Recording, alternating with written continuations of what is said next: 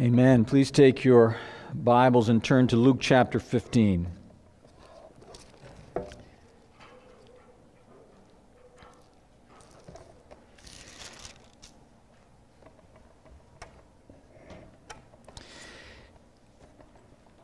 Please follow along. I'm going to read beginning this week in verse 11, and we'll read down to the end of the chapter. Luke 15, beginning at verse 11. Jesus continued There was a man who had two sons. The younger one said to his father, Father, give me my share of the estate. So he divided his property between them. Not long after that, the younger son got together all he had, set off to a distant country, and there squandered his wealth in wild living. After he had spent everything, there was a severe famine in the whole country, and he began to be in need. So he went and hired himself out to a citizen of that country who sent him to his fields to feed pigs. He longed to fill his stomach with the pods that the pigs were eating, but no one gave him anything. When he came to his senses, he said, How many of my father's hired servants have food to spare? And here I am starving to death. I will set out and go back to my father and say to him, Father, I have sinned against heaven and against you. I am no longer worthy to be called your son. Make me like one of your hired servants. So he got up and went to his father. But while he was still a long way off, his father saw him and was filled with compassion for him. And he ran to his son, and he threw his arms around him, and he kissed him. And the son said to him, Father, I have sinned against heaven and against you. I am no longer worthy to be called your son. But the father said to his servants, Quick, bring the best robe, put it on him, put a ring on his finger and sandals on his feet. Bring the fattened calf and kill it. Let's have a feast and celebrate. For this son of mine was dead and is alive again. He was lost and is found. So they began to celebrate. Meanwhile, the older son was in the field. And when he came near the house, he heard music and dancing. So he called one of the servants and asked him, uh, What's going on? Your brother has come, he replied, and your father has killed the fattened calf because he has him back, safe and sound. The older brother became angry and refused to go in. So his father went out and pleaded with him. But he answered his father, Look, all these years I've been slaving for you and never disobeyed your orders. You never gave me even a young goat so I could celebrate with my friends. But when this son of yours, who has squandered your property with prostitutes, comes home, you kill the fattened calf for him. My son, the father said, you are always with me and have everything, and everything I have is yours. But we had to celebrate and be glad because this brother of yours was dead and is alive again. He was lost and is found. Father, I ask that you would again take your word, and I pray that you would give understanding to every mind and heart. I pray that you would give spiritual life to every soul. I pray that you would use your word to call the lost to salvation and to feed your sheep. And we pray this for our good and your glory and for in Jesus name. Amen.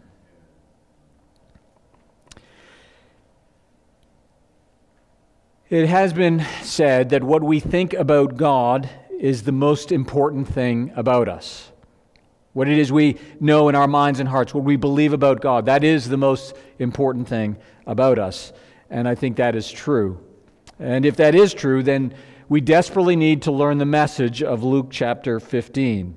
We certainly need all of Scripture. We need God to show us Himself so that we might think right thoughts about Him. And Luke 15 and Jesus' uh, simple yet powerful stories are relating to us, as we saw last week, relating to us, showing to us, revealing to us the heart of God. It was really a one point sermon that went on for quite a while last week. And the one point was this that God loves the lost and rejoices with great joy and celebration when the lost, sinners, his creatures, rebels that they are, when they repent and, and come home.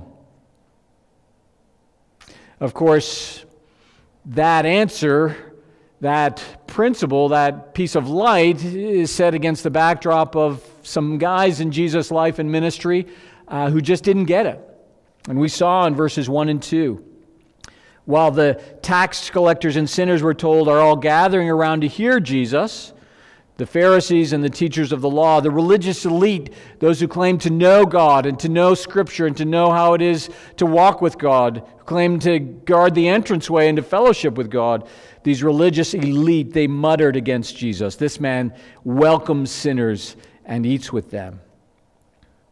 And so Jesus tells the parables so that we might understand that he represents truly, clearly, powerfully the heart of God to us as sinners that the Pharisees don't, and he does. This is Jesus' heart on display, and it is God's, the Father's heart on display, because Jesus' heart is God's heart. It is his heart for lost sinners. Please don't forget the two stories that are a part of the three story parable here the treasured sheep that the shepherd goes to find, the treasured coin that the woman works so diligently to recover. And of course, today we've got the picture of the lost son who is restored. There are treasured things, things that are loved that are lost. And because they are loved, there's a great search, a diligent and unrelenting search is made, and there is great celebration when the lost is found. All of this is meant to drive home that single point that God loves and rejoices in the saving of lost sinners like you and like me. If you are a Christian, if you've been awakened by the Spirit to your own sin and your need of Jesus, you, your heart is thrilled and warmed at that thought, isn't it? To know that God loves us, loves me in this way, that He came to search for me, and that He took joy in my salvation, in my repentance, and in my coming back to Him through faith in the Lord Jesus Christ. Glorious truths. But today, we want to see the second point of Jesus' story, which in some respects is the main point for his immediate audience and, by extension, for us today. It is a message to the older brother. Again, don't forget the verse I pointed you to, 15 verse 2. There are those Jewish religious leaders who are upset with Jesus, angry with Jesus, muttering against Jesus because Jesus is welcoming sinners. And so while we might ask the question, and this is really the question we asked and answered last time, and we'll touch on it again today why does Jesus spend time with sinners? Well, because he has, it is God's heart. This is why he has come. But the other question that comes out of verse 2 is why do the Pharisees not welcome sinners? To put it another way, what's wrong with their hearts? That they not only are not looking to welcome or restore the lost, they are angry and opposed to those to Jesus who is looking to restore the lost. Well, before, we're just going to take a few minutes to unpack the issues of the older brother's heart, and there's important lessons there for our hearts today. I do want to remind you of the, the first part one of the story that begins at verse 11 and goes down uh, into verse 24. Again, we traced it out last time briefly along with the other parables. Uh, but it is, again, powerful and beautiful, isn't it? Even as we read it again today. And it's vital to see how it is, it really takes a step beyond the first two stories the sheep and the coin. Imagine for a moment that you are one of the religious leaders. And Jesus tells you these two stories about a lost sheep and a lost coin. Valuable things that are lost, and the owners of those things go and spend, spare no expense to recover them. If you were one of the Pharisees and Jesus stopped at that point, you might wonder okay, yes, people, people go after valuable things. People want to recover their valued possessions. Okay. And God rejoices when valuable possessions are found the point of the story really isn't driven home to their hearts until we get to the lost son.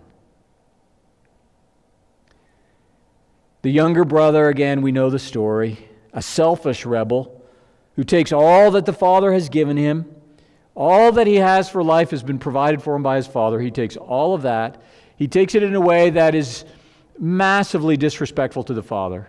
And he takes all of that and he spends it all on unwise, on sinful living.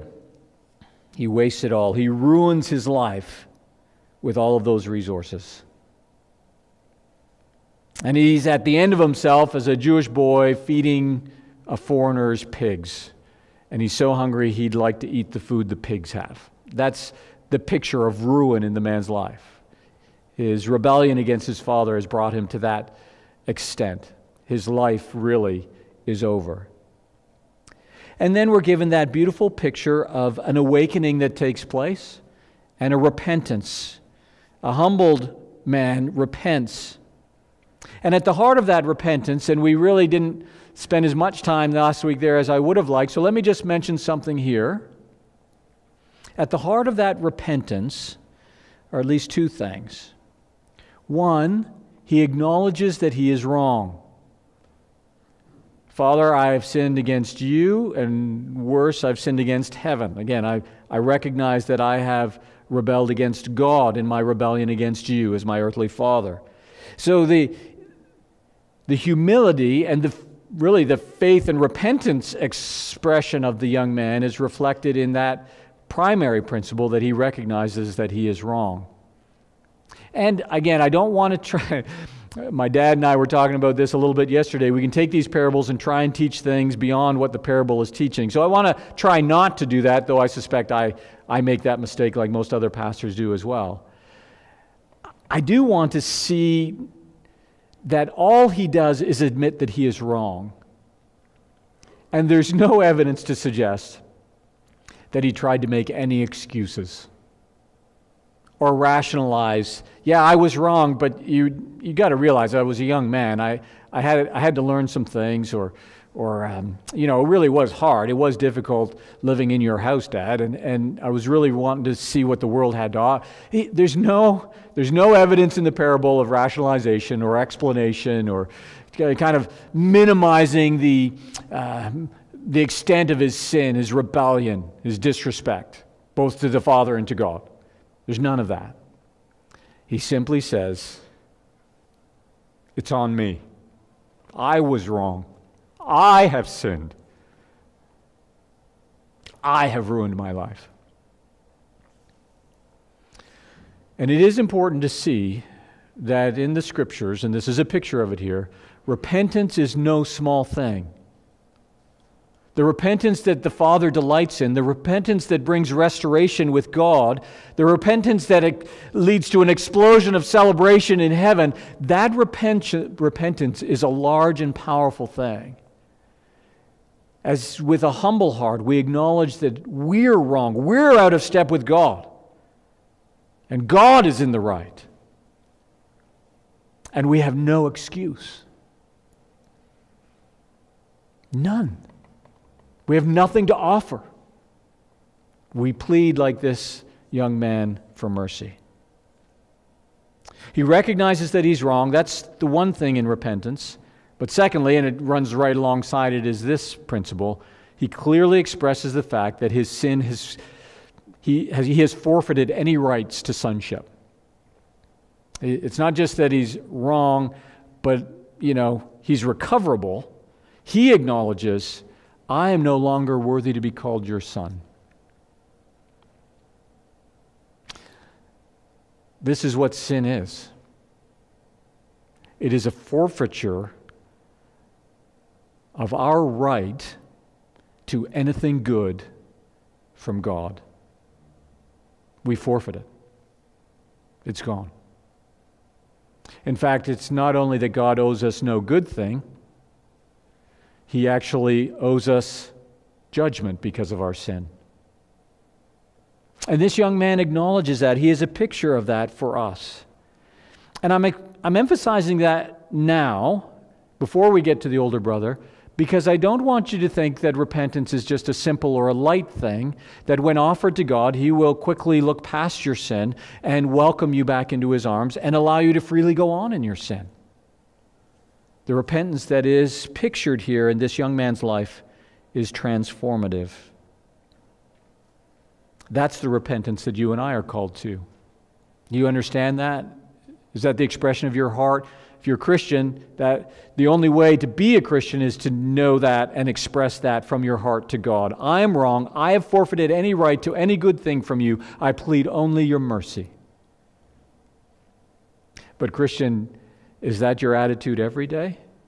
When you find yourself stumbling and fumbling your way through relationships, through COVID, through restrictions, through whatever it is, and you find yourself under the conviction of the Spirit, you recognize your sin. Are you, you quick to acknowledge those things? Again, I'm wrong. And in my sin, still, Father, I'm completely unworthy of your love and affection. I don't deserve it. But as a believer, you can cherish it. And you plead again the mercies of the Son, the mercies that are opened up for you through his life and death and resurrection. Repentance, wedded to genuine faith, is a powerful, life transformative thing. We must see that. And it is this repentance then that leads to the great celebration. And I won't go through it all again as we did last time, but the father runs and welcomes and kisses and, and kills the fatted calf. And he sets out a, a celebration. Again, the, the father triggers the celebration. The father is the one without hesitation who celebrates the return of the son and describes it in this way My son has been raised from the dead. Not only was he lost and found, but that picture of lostness, he says, he's back from the dead. And so, this father, in great joy, knowing that his son is back in relationship with him, he celebrates. Again, ah, at the danger of repeating myself, I think it's a good thing to repeat. In the, in the story of the shepherd, right, there's more joy in heaven at the repentance of one sinner than 99 who haven't repented. In the, in the story of the lost coin, there is joy in the presence of angels in the repentance of lost sinners. Celebration explodes when these, the repentant sinner comes home. That's what the picture is supposed to open up to us. And then this son, this story pushes it further and says, here, here's a, a human picture of celebration at the recovery of a relationship. A celebration explodes in heaven. God has expresses his joy-filled heart when sinners, one sinner, comes to repentance. It struck me as I was reading through this again this week that one sinner brings an explosion of joy in the heart of this Father. Now, there will be millions of sinners as we think about the mission of Jesus and how it is he has come to rescue the lost. There will be a countless number of redeemed sinners, those who have recognized their need of Jesus, repented of sin, and trusted in him. We won't be able to count the number that are in glory, that are rescued from sin and brought to eternal life. But the picture here, and really the picture from Scripture, is God's joy is as large in the saving of that one sinner as it is in the saving of the millions upon millions of sinners.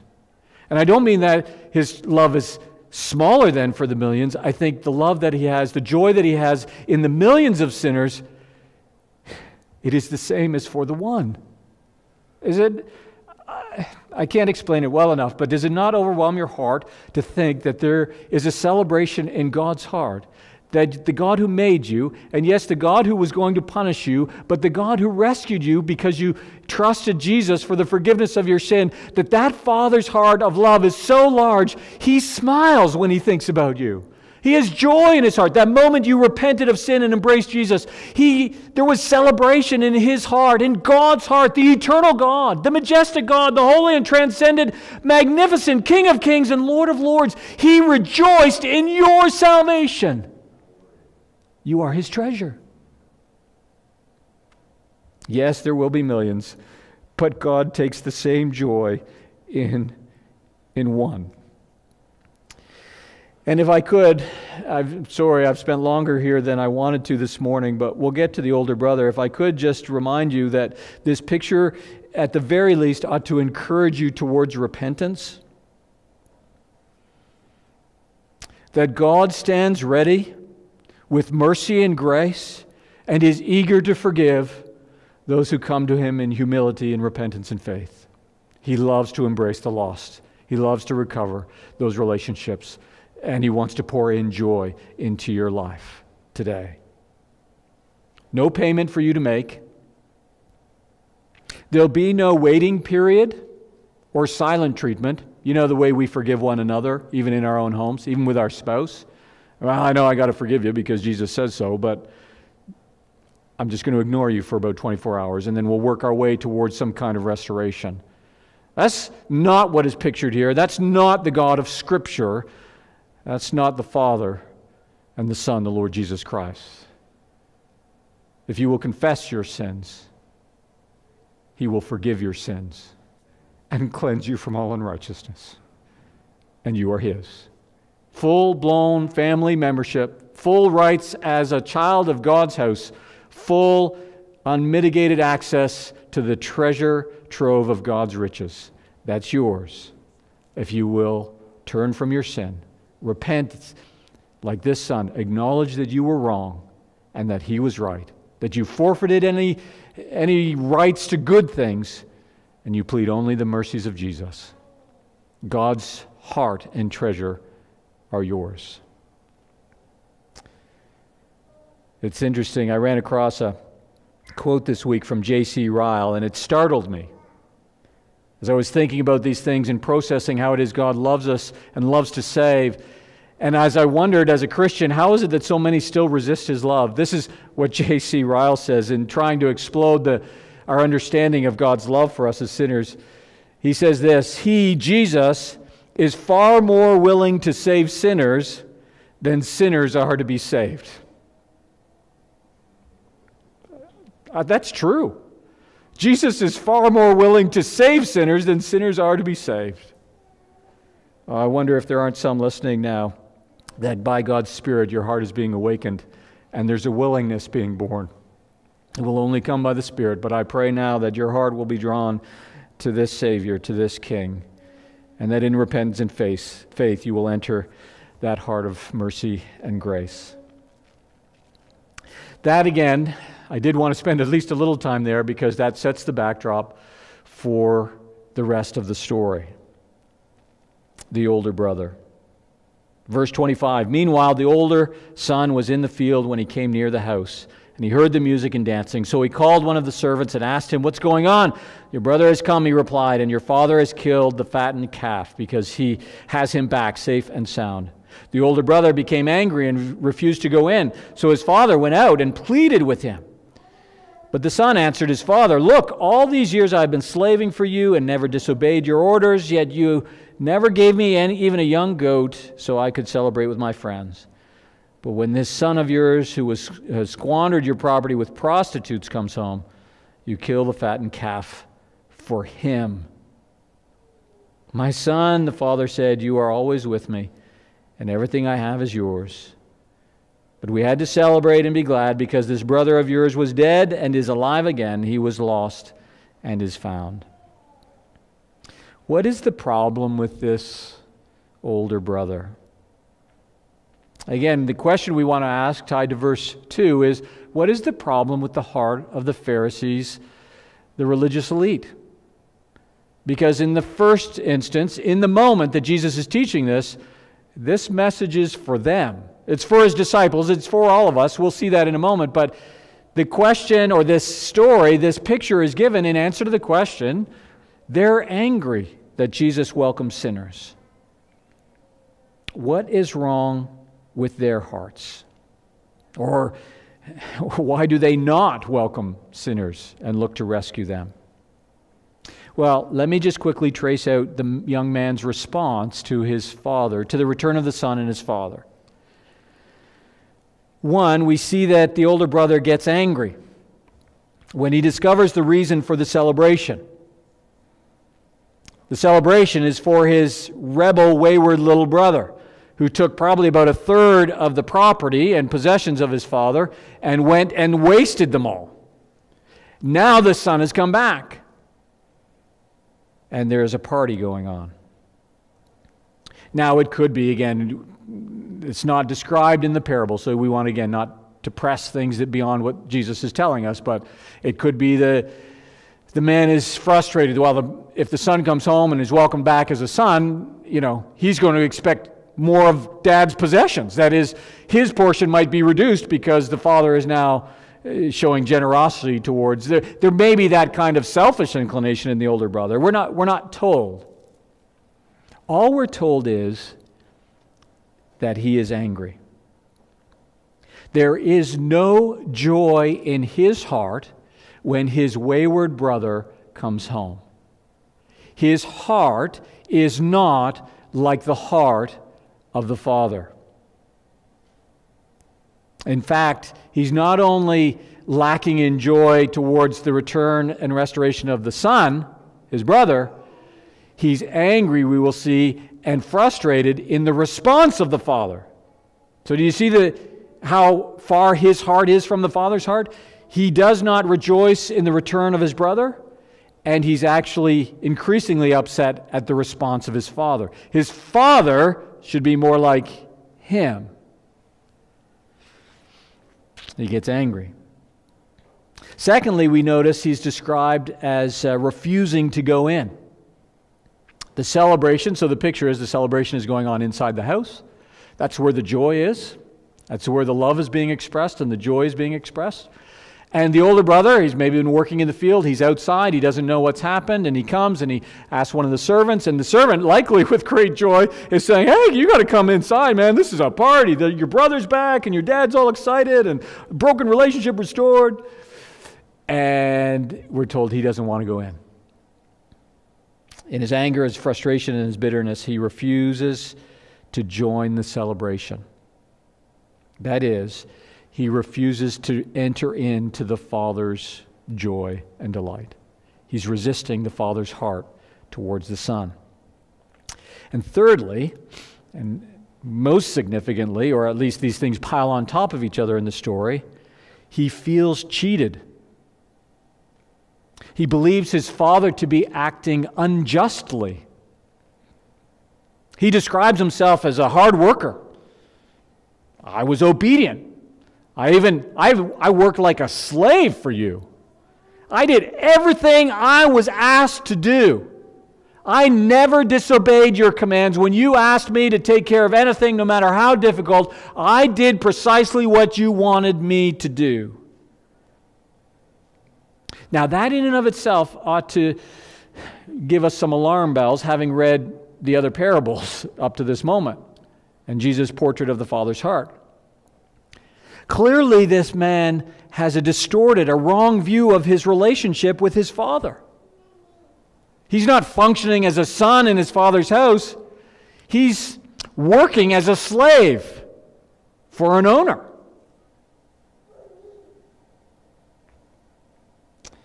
The Pharisees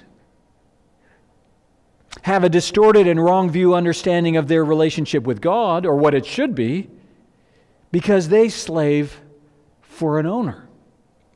They seek to earn love and acceptance through acts of obedience. Now you say, well, how do you know that the son here, that Jesus is saying, this son, this elder brother, he, he's looking for payment, that that's how he sees the relationship functioning? Well, how does he describe it? He says, you're, you're given the, the best calf for this rebel son you didn't even give me a measly goat to go celebrate with my friends. Uh, again, it's almost like such a petty thing. Like, Dad, you never give me anything. And when we take those two thoughts together, I've slaved for you and you've given me nothing. The implication being, I slaved for you, you owe me something. And he's feeling cheated. His father is unjust.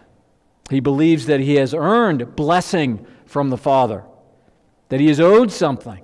It's not a matter of receiving a gift of grace from his dad. He, he has earned his standing in the household and the reception of his portion of the inheritance. Well, if that's your heart, then you can understand why he's deeply offended when the, the little brother comes home, the wayward little brother, whether uh, he introduces the thought of prostitutes, by the way. That's not in the opening part of the story. May well be true. Wouldn't be surprised if that's were the case. But he's just kind of dumping on the brother, I think, at that point in time. Be that as it may, he's deeply offended when this wayward little brother receives not just, okay, son, you're back. I'm glad to have you back. You know, really happy to see you. Uh, yeah, let's start. You know what? You stay out with the, the servants tonight, and uh, we'll give you some stuff to do. Uh, I want to talk to you about where you've been and what you've been up to. And we, you know, you're going to have to earn some trust back. Going to take some time. And uh, yeah, so yeah, you can you can begin out there, and we'll just see we'll see how this goes. We'll see if it's really genuine. No, the picture again, as we've laid it out, is the son comes home in very genuine humility and repentance. He expresses this to the Father, and the Father simply welcomes him back, and he, he moves from being lost to found. He is a full fledged son in the household and, and given this marvelous gift. For what? Why does the son, why does that son deserve anything? Because he repented? He can waste everything, every blessing and benefit you gave him in this life, he wasted that on himself. He disrespected you, Dad, and he sinned against God. And just because he says he's sorry, you will welcome him back. Yeah. That's what the Father does. Again, the, the complex story of the repentance we were talking about a moment ago. But yeah, he came back and said, I was wrong. You were right, Father. I forfeited my rights. I plead your mercy. And the Father says, Great, come on in. This infuriates the older brother precisely because he believes he's earned what it is the Father ought to give him. He sees no need for repentance in himself and yet he reflects one fatal act of disobedience. Did you notice it in the passage? He claims to be the most obedient son, and we have no reason to believe that he wasn't, that he was faithful and diligent in all the work the Father gave him to do. But there is one fatal act of disobedience that cuts him off and would require deep repentance. He refused to go in. You see, the picture is the Father has gone out before we get to the father's words, the father has gone out. The son has said, No, I'm not going in. This is reported to the dad. The dad comes out. Says, he's pleading with the son, You've got to come in. I want you to join us. I don't want you to be separate from this. Come and enjoy this moment of celebration with us. And, and the father, in love for this older brother, is pleading with him to come in. And the son's response is, I will not go in. That's a fatal act of disobedience to this father. Not only is his words and actions reflected that his heart is not like the Father's, he has made a deliberate choice that cuts him off from the heart of the Father. And yes, this message is for the religious leaders of Jesus' day. They are outside of God's heart and they are outside of God's house of celebration, God's means of celebration, that is the recovery. They are outside of all of that. While they are on the inside of the Israelite history and the Jewish scriptures and the covenant and all of the covenants of the Old Testament scriptures, while they are on the inside of all of those things, while they have all of that from the Father, they fundamentally are on the outside of the most crucial thing. They don't understand what God was doing in the Old Testament scriptures. That all along, God was laying out this plan where He would seek and save the unworthy, the worthless, the broken, the rebel and so they remain outside. They do not understand the relationship that God is calling them to, both in their own scriptures, but most powerfully now in the voice, in the presence, in the person, in the work, in the ministry of Jesus Christ. God the Father is calling them in. He's calling them in. And they are saying, We will not go. That heart of the older brother is easy to condemn but I wonder if we need to think about it a little bit more carefully for a moment this morning. I wonder are there older brothers and older sisters still today? And what might they look like? I would suggest to you that they would look like active members of their local Baptist church. They would not just attend regularly, they would attend, if the church was open, they were there. If there was a way to serve, they were engaged. They would sacrifice time and energy to contribute to the life of the church community. They would know their Bible, they would know their theology, teach Sunday school, and lead Bible studies. And they would give. And they would give, they would calculate the 10% they would give, generous givers. And yet, they would be impatient and grumpy when the people around them were not nearly as faithful as they are. They would be quick to criticize.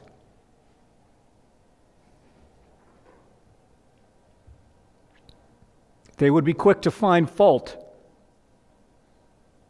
They would have their own grid to measure the genuineness of people's spiritual lives and faith and repentance and say things like, well, you can't be a Christian if you do that. Or you can't be a Christian or a mature Christian if you struggle with that, if you struggle with pornography. You can't be a Christian if you dress that way or drink that stuff. You can't be a Christian if you wear a mask. You can't be a Christian if you don't wear a mask. An artificial grid by which they would assess the genuineness of the faith and repentance in the lives of other people. They feel better about themselves when they look at the failures of others. You understand how that's so not God's heart for us? to think better of ourselves when we see someone else struggling with things that we don't struggle with?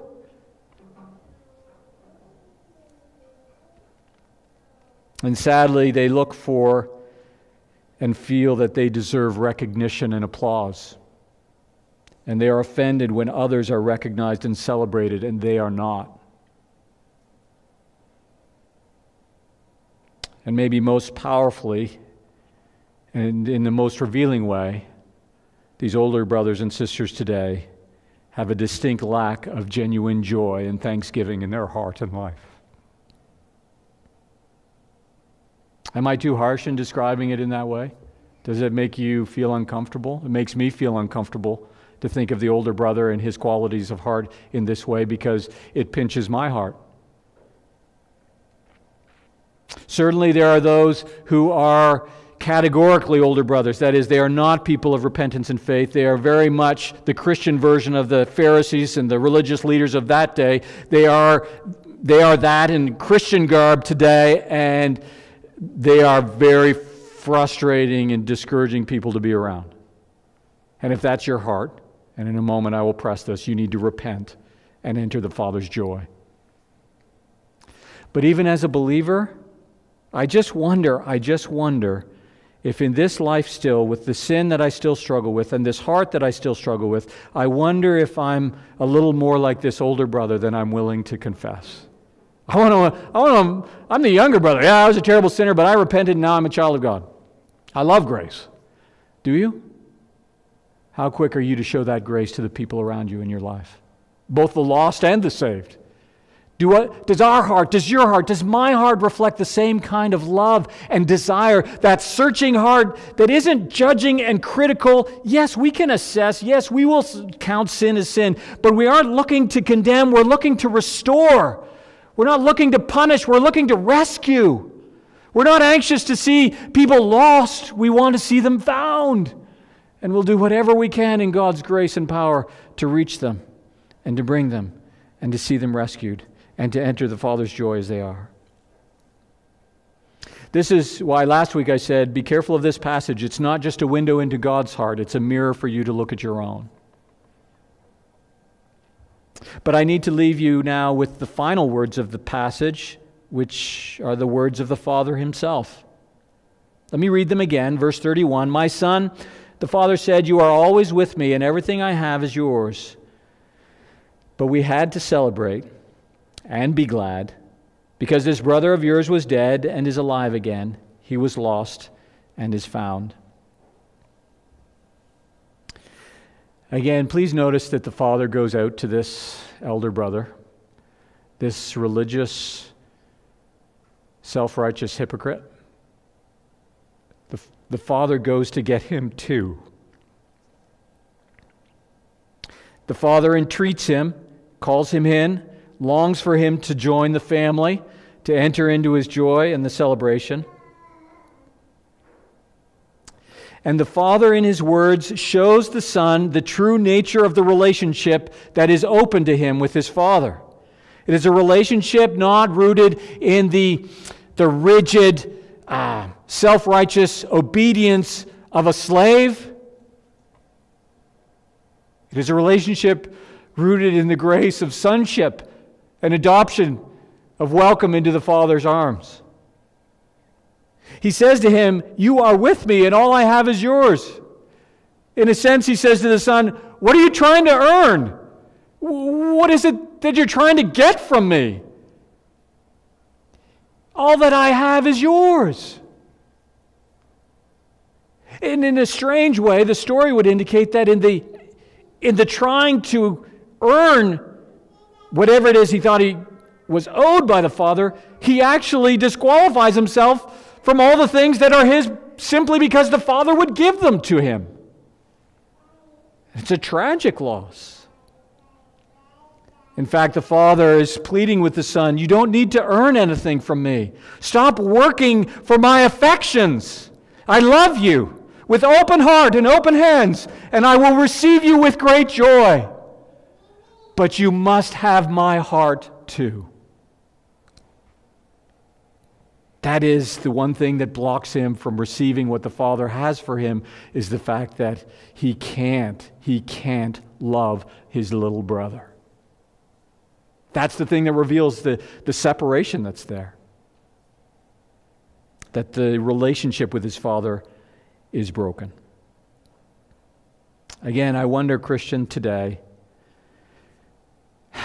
I think we all fall into this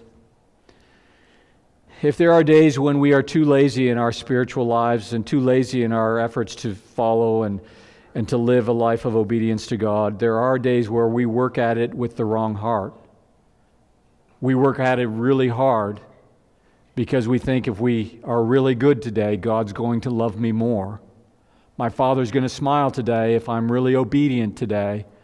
I'm going to get a blessing from God today. Maybe I'll get an answer to prayer today if I, if I pray a little more, a little longer, a little more fervently, I, I read a little more scripture, uh, if I do a, a couple more kind things, uh, maybe if I, I live a life that's pleasing to God, He'll get us out of this COVID thing a little more quickly, or my kids will find work, or whatever. Again, it's the danger of that attitude and heart of the older brother seeping into our attitude and heart as we relate to our Father.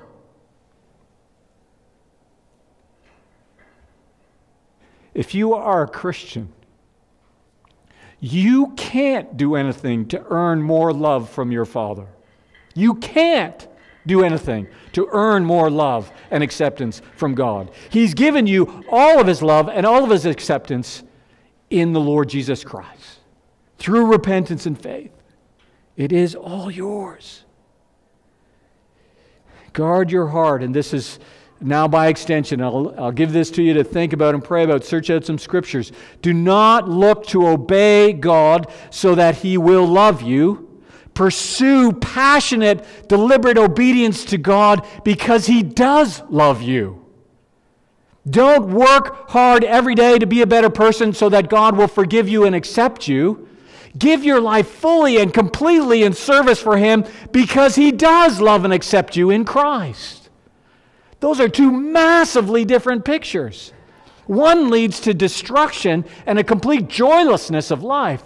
The other leads straight to the Father's heart and a celebration of joy. So, where are you? It's interesting, this passage ends. There's no answer to the question what does the older brother do? Jesus leaves the religious leaders and us with the question what will you do? Will he join the celebration? or will he stay outside of the Father's heart? Listen, and I'll close with this. Jesus has come calling sinners to repentance. Already, Luke 5, again in Luke 7, he's made that very clear. His mission from the Father is to come to call sinners to repentance and to rescue those sinners. How? Through the cross. This passage we're reading, we've already been told Jesus is on the way to Jerusalem and the cross is coming. This is helping us understand why does Jesus have to die? It's so that repentant sinners like this son, like you and like me, that through repentance and faith we can actually be forgiven. God will deal with our sin. And Jesus is the one with whom the Father deals with the sin. That's why he gives his life up on the cross, so that you and I can be forgiven. In this climax to his mission, as he hangs there on that cross, ultimately going into the tomb, but being raised from the dead, in this seek and rescue mission, he is fulfilling the heart of the Father. This, this is what life and time and history is all about that God might display his heart of love in rescuing lost sinners. Now, listen Jesus is calling rebellious, selfish, self destructive, ugly sinners to repentance and salvation through faith. And Jesus is calling religious, hardworking, rule keeping, self righteous, hypocritical sinners to repentance and life through faith in Jesus Christ.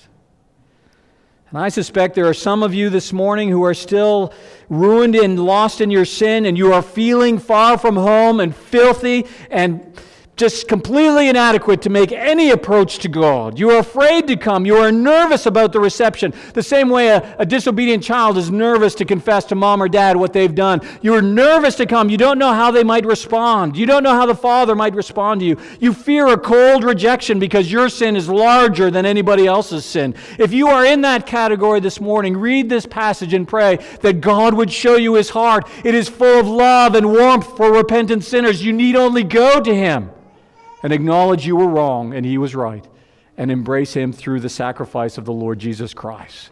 Don't stay in the darkness. Don't stay out in the cold. Don't disqualify yourself. God knows your sin better than you do. He is well able to forgive it because Jesus died and rose again. And at the same time, I feel there are likely some of you who are still ruined in your self righteousness and your religious pride. You live in a cold and joyless darkness of religious achievement, and you are trying to save yourself and earn God's approval through your sacrifices and your life's obedience. And you have not felt the warmth of His arms and the power of His grace because you think you can save yourself.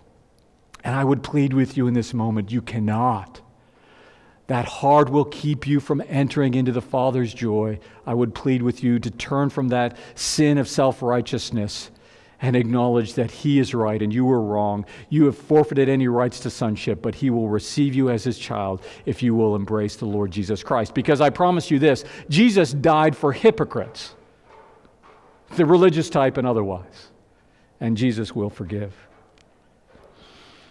And Jesus is calling all of us today into a restored relationship with our Heavenly Father. He's calling us into fellowship with family through the door of humble faith and repentance. Through that door which is opened up in the sacrifice, the life, death, and resurrection of Jesus. And He's calling us to receive in the Father's heart a great storehouse of grace, a treasure of divine love, and an inheritance of glory and joy. Jesus is calling you home today. He's calling you to his Father's heart today. Won't you come in? Softly and tenderly, Jesus is calling, calling for you and for me. See on the portals, he's waiting and watching, watching for you and for me. Why should we tarry when Jesus is pleading, pleading for you and for me? Why should we linger and heed not his mercies, mercies for you and for me. Oh, for that wonderful love he has promised, promised for you and for me. Though we have sinned, he has mercy and pardon, pardon for you and for me. Come home.